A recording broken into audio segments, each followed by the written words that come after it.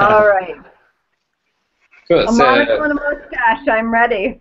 you're so you look like okay. Anyway, You look like the, um, mo- uh, the Monopoly guy. I was gonna say the peanut, the that peanut. too. um, so if uh, Salina, if you wanted to go first, if you had any questions, uh, I like it when the uh, when the uh, Absolutely. Yeah. So my uh, my question for everybody is, what are you reading and why? Who are you reading right now? Um, are you reading a book? Are you reading a, a journal? Are you dedicated to a blog post? What are you reading and why are you reading it? hmm. Um, can I go first then? Okay. Sure. Um, I am reading. Well, I've been reading Eragon, and um, even though I've read the books already, I just uh, I'll open it up to a random page and read it because it just makes me puts me in a really good place. Um, but uh, another book that I'm reading, actually, Cricket sent it to me, and it's Return of the Bird Tribes, Ooh, Um, good one.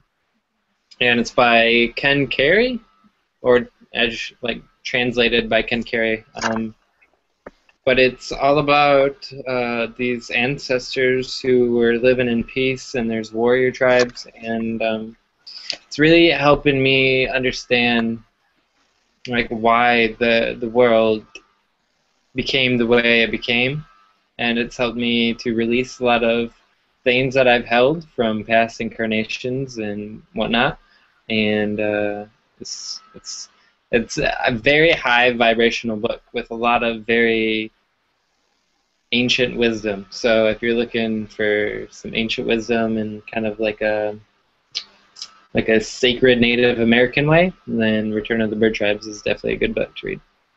Thanks for the question. That's a good question. Ah, really good question. I actually, my book is currently upstairs in my other studio, but it's called Keys to Happiness, and I actually found it on a table outside of a store at a free book lift or whatever, and it was with like four other books that like one was like the Queen's Keys and one was actually called Shannon's Way. And like four other books right when I needed them they all just were like laying there in perfect synchron or synchronicity for me. And I believe the book's actually by the Reader's Digest from like the 40s and it's so funny because all the topics in it as I read them and I don't get to read too much lately because we've been so busy and updating the website and everything keeps me super occupied. But like every time I read a chapter of it, it is like so synchronistic with what's going on in my life. It's crazy. And I actually looked up the book a while back to see if they had a new version of it, and they quit making the Reader's Digest books.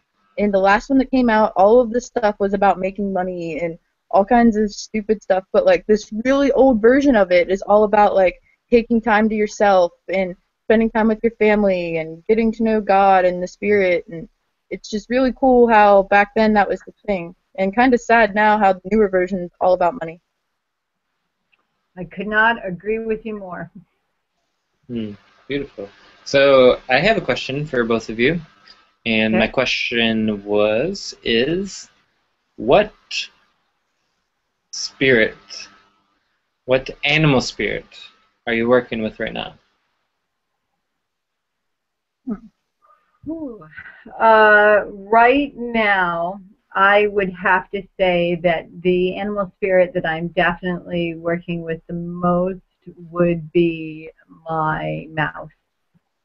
Um, and I am working with the mouse because the mouse is very, very fastidious um, and really concentrating on protecting their family and their little den and their space and really loving um, that space and bringing in enough food. Um, and so they don't waste any time. They get up and go. Um, so I'm, I'm definitely working with my mouse energy right now, um, which is pretty uh, humorous because um, my my personal spirit animal, my my totem animal, is actually a wolf. Um, and I travel as a wolf um, most often, and am most connected as my spirit guide um, to my wolf. Um, but I am right now. I'm working uh, in in the present moment with my mouse. Um, so that's uh, that's my answer on that one. Yay! Nice. Um, I guess uh, mine would probably be interesting enough. I have a, a spirit skunk. Um, it's very black and white, obviously, and it sprays things like it's does. But the reason I think I'm working with him a lot is because um, I've been dealing with a lot of interesting energy coming at me lately. And when my skunk comes around, he's like reminding me when a good time to spray my emotional junk is and when to, to hold it in.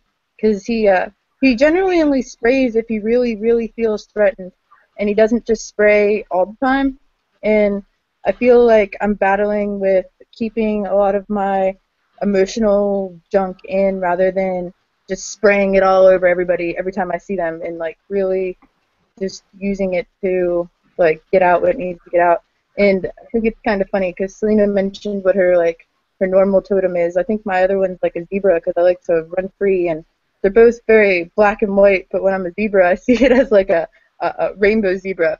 So the fact that I moved to my skunk, which is my other black and white spirit animal, really means that I might be uh, trying to like put down some darkness and keep the light going in my life. And that's been going on like all retrograde. but it's finally like coming back to an end and he's calming down. All right. Philemon, what So- about you? What what? Yeah, that's what I was gonna animal are you say. Hey, hey, that was my question. I was gonna ask you before I asked my question what your spirit animal was. Dude, it was for for a while. It was um, I was working with a horse, which uh, kind of like why I had the. That's not why I had the mohawk, but it definitely helped. Um, which you can see here, horsey. Um, Which he painted. yeah, I painted that. So if you want to buy it, five hundred. No, I'm just kidding. Um, man, I've been so distracted lately. I don't know if I've been focusing on any animal spirits.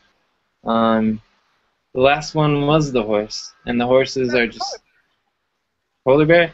Yeah, yeah, it is getting into winter, and I'm starting to focus more on the polar bear, who who goes into hibernation. Um, very protective of their kids and their den as well in a, in a different type of environment. Um, just they're so beautiful and they're such good swimmers and they just love the cold and they love the snow and they love to play and have fun and and that's what I'm all about. I don't like Coca-Cola and I don't like that Coca-Cola uses the polar bears for their for their Christmas stuff. So Coca-Cola, please stop that because polar bears are much more than just marketing schemes. So Actually, I can maybe help you with that a little bit because they actually donate 5% of their total profits. Uh, not that I'm in love with Coca-Cola Company either, um, but they actually donate 5% of their total profits during the holiday season to protecting the polar bears and the polar bears um, space. So really, wow. do actually do that. That happened about eight years ago um, because National Wildlife Federation actually put a lot of pressure on them for that very reason, and so they actually donate that money to support the polar bears preservation. Um, so that's uh, it, I agree with you. There are lots of companies that do exploit the animals, but this is uh, that this is one indication where we won. we won yeah. polar bears. At least they're doing something good for him then. That's Yeah. awesome. That's just a good sign that our, our world is definitely kind of making that switch. Shows what activism can do. Oh yeah, for Yeah. sure. For I like sure. how So- when Tilo switches animals, he uh, he's been doing paintings lately. And when he first came to me, at least for with Project Bring Me to Life, he was painting an owl, and he had been following the owl. And then he went into his horse stage, and now he's slowly he just did a horse, and he used a different kind of paint. And I, I- I'm really proud of him because uh, it's kind of a hard medium to just start with, and he did a horse, and I can't even do a horse. And now he uh, he just started a polar bear, and I could just feel his polar bear coming in. So I knew he had an animal. He just being modest. Yeah, um, it's okay. I just like this is the uh, owl painting. Oh, I love him. It actually kind of connects like right there with the horse, and then now I'm working on the polar bear, who uh, will go on top of the horse like that. So um, yeah, thank you. And Good. Shannon, it's time for your question, my lady. Okay, I must ask you both a question. Um, what is your favorite holiday? Since she was talking about holidays and different things, what's your favorite holiday and why? Nice. Let me think about that. Uh, my favorite holiday is absolutely Beltane, uh, which is May 1st uh, in the Wheel of the Year. It is the sacred marriage of the gods and goddess, uh, and it is the time of great coming together and sacred love um, blooming in the world. Um, we say that we light the Beltane fires so that on no night love does not conquer all things. Uh, and so as we approach Samhain um, now in a week, uh, the southern hemisphere is actually going into Beltane. And so the two most important holidays are New Year and the sacred marriage of the gods um, correlate at the same time. So it will be, for the southern hemisphere, it will be Beltane on October 31st, November 1st. And for the northern hemisphere, it is Samhain and the Day of the Dead. So uh, those are my favorites. Hmm. Awesome. Uh, whoa, whoa, whoa, whoa, whoa. I was going to say my favorite holiday. Well, this is really interesting. Uh, I made a I made a video blog the other day, and it was about Christopher Columbus. And basically, in the video, I was just asking for forgiveness um, for what happened with the Christopher Columbus experience when uh, the the white people or the Europeans came over and started, you know, taking land from the Native Americans or just um, like claiming land that belongs to the entire world. And so I was asking for forgiveness in that video, and I think Thanksgiving is my favorite holiday, and a lot of people see Thanksgiving as something bad because of what happened with all of that, and like let's celebrate um, these white people coming and taking everybody's land.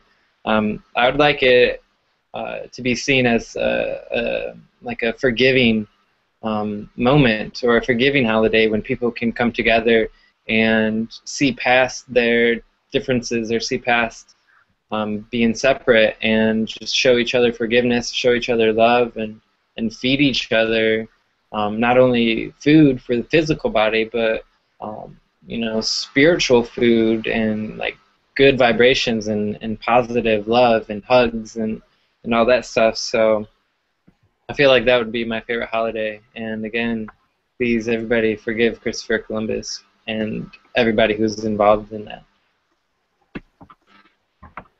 Awesome. Beautiful. I like those Beautiful. answers. Good job, guys. Good job. Thank you. Um, so just like the last thing was a shout out. So Salina, do you have any shout outs? I do. I'd love to say hello and thank you and so many blessings to everybody who's watching and to all my sisters, especially in the South uh, and all over the country who have been working and praying with me. Um, I'm so thankful for all of you. I wish I could see you more. Um, I am especially um, going to put out a special request that if you are against fracking, and you are against the uh, the powerful um, damage that it can do to our beautiful Mother Gaia, I urge you to please go on Facebook and join the group called the Warriors Call. And it is the pagans that are united against fracking. Right now, they are petitioning the UK government um, in both Ireland and England proper to do fracking during the near the sacred sites, including Stonehenge uh, the Tor and Avebury, all highly sacred circles. Um, if they do this, the potential for the Chalice Well, which is our sacred well um, that has been an ancient and sacred well for over 4,000 years, um, could be corrupted and destroyed. Um, it is incredibly important that we stop fracking worldwide, and as global citizens, we have a responsibility to do that. So please go out and uh, go on Facebook if you're on Facebook and join the Warriors Call, um, the Pagans United Against Fracking group. Uh, whether you're pagan or not, please check it out um, and uh, and stop and contact your legislators and, and people everywhere to stop fracking. So. Um, thank you so much for letting me put that little plug in because it's a it's a cause and a group that I really believe in and work um, ardently worldwide to uh, stop fracking because it's everyone deserves clean drinking water. Everyone. Yeah. So um, that's my shout out. Yeah. Wow, that's a good one too, and you're really making us step our game up. Thanks. So it's it's really uh, it's it was kind of funny seeing you uh, be so serious with your mustache. I am super serious with my mustache and monocle. That's right. So okay, um, Shannon, did you want to shout out? Um, yeah, I want to first shout out to Nick Monicki, who isn't here, so I get to be co-host for a week. Good job, thanks. Um, sorry you can't be here, but hopefully you'll be back with us next week. Um, also, I want to shout out to Uche and um, Fistfight Lullaby for their video that they just dropped at 8 o'clock, and we have on the website, which means we got to premiere it, and I am super pumped about that because that just makes me feel like we're doing good things, helping out our friends and other awesome people.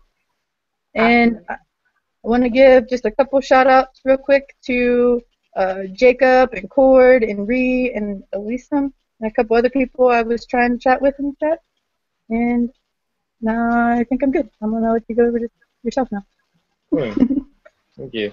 I wanted to shout out to Kavita, who we met in Detroit um, last week, and she was really excited that she got to that she got to meet me in person. Um, she was really pumped about it, and she wanted to take a picture with me, and it was the first time that happened. So she was so excited. That was so cool. yeah, I was really excited. I was really pumped. I was like, oh, yeah, thank you. And it just uh, it kind of makes I don't know makes you feel good when you know you, that you're a part of something something good like this.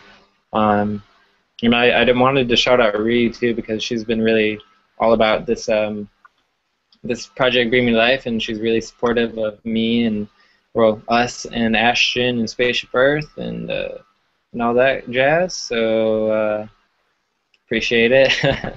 and well, that's all I have for shout outs this week. So uh, yeah, and I'd like to thank uh, Salina for being part of this podcast. Thank you so much for having me. You guys have all been amazing. And Kahina, if you're still on, I will contact you on Facebook.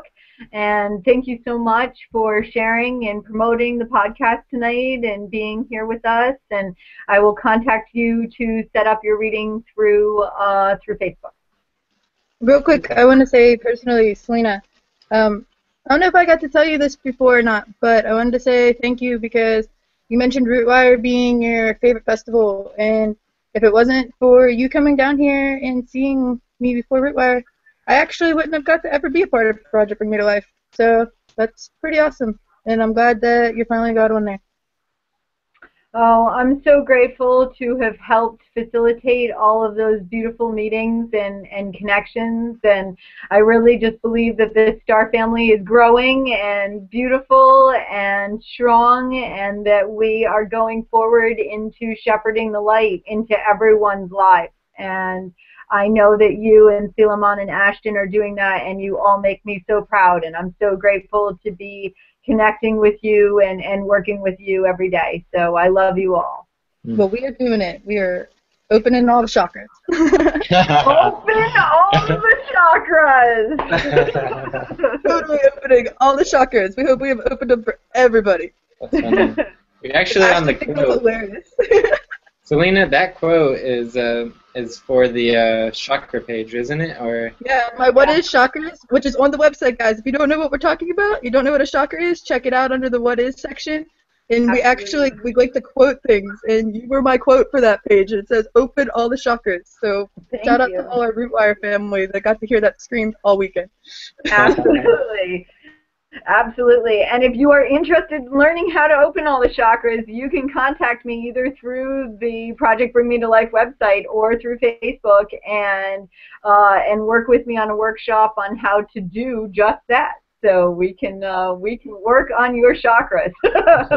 Let's open them all, guys. yeah, beautiful. So uh, the last thing I want to say is there is a, um, a shoot a guest book. Yes, that's it. A guest book. Um, so that's under the contact tab, and if anybody would like to leave a positive message for Project Bring Me Life or any uh, any person who's been on it or is on it, um, just leave your comment there because we we love them. We do love them so And much. there's a poll. Check out the poll. We're making a walking stick. We want to give things away. Check out that. Yeah. So fill out the poll, check out our website, and keep keep watching, keep uh, keep keeping on. Um, Siobhan, and- how long how long does the podcast stay up on the website? I've had a couple of people emailing me now saying that they've missed it but they want to watch it. Uh, it'll be up um, from now until who knows. It'll be up there for a really long time, maybe It all of eternity. We'll put the the podcast, the live page stays up until next week. Um, and on the Watch Us Live, it'll stay there until it updates it next Tuesday. It'll stay under the podcast tab forever because every week we update the podcast tab. So anyone you missed, you can check out. Wonderful. Thank Watch you. all of them. Watch all of them. Yeah, cool. Um, so besides that, the only other thing that I have to say is that love has no fear, no vengeance. That's no. Um, I just want to thank everybody again. Thank you, audience, for uh, being part of this and interacting with us and chatting with us. And next week, po- next week's podcast is going to be Cosmic Village. Um, so check out her new video. And, uh. Do it. Yay, you Jay, we love a couple you. of times, so that's pretty cool. So uh, the only thing else I have to say is Project Bring Me to Life. Wake up. We love you. We love you.